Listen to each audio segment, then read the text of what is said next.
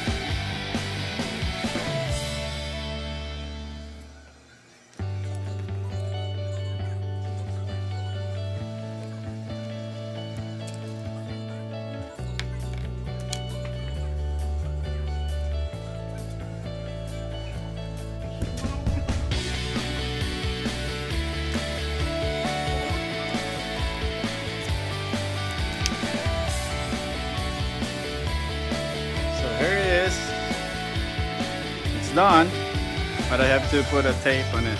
I mean, uh, glue. All right. See you tomorrow.